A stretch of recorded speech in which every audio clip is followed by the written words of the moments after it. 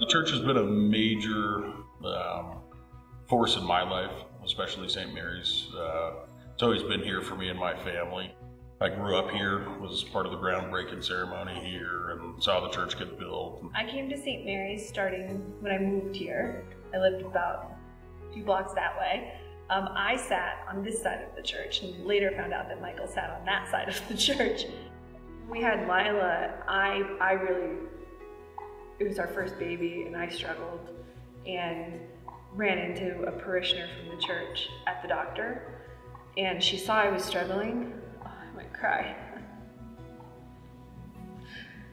She saw I was struggling and she reached out to other members of the St. Mary's community and they showed up in droves for us and for Lila and um, brought us dinner on a meal train, held her for four hours so we could sleep for the first time. Um, and they were so supportive of us having a baby and the baby being part of the community, and I felt so welcomed and supported and loved. This is the most important day of her life, you know. One of the parishioners who came over reminded me that our job is not to make her happy, it's not to make her successful, it's to get her to heaven.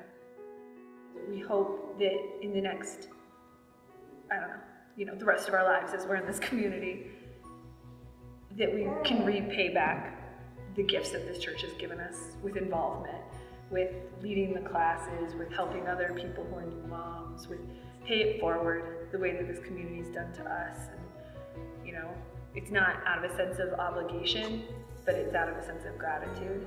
This community's done so much for us. I hope we can do as much for them.